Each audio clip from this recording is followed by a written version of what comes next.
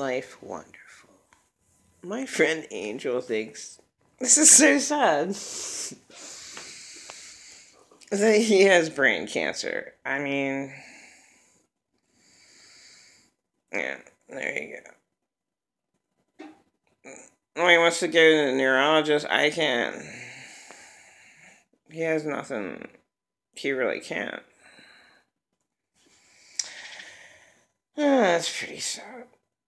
Um, and I'm glad that he was able to be in my life when uh, people rejected me, like my recent ex and Ted, because he was my help of being a friend. Even though Ted treated me like shit, he was still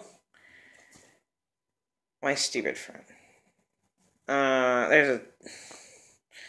It's good he's they're gone. Dumb and Dumber is so excellent. They are totally out of my life. Um, Angel helped me like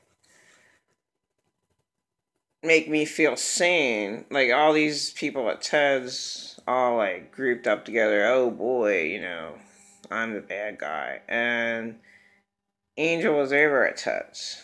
So he saw all the people. He saw the next door neighbor who probably called the landlord and said I was never allowed on the property.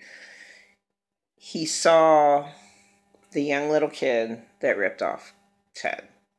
So that really, really, really helped me out in my little tiny situation.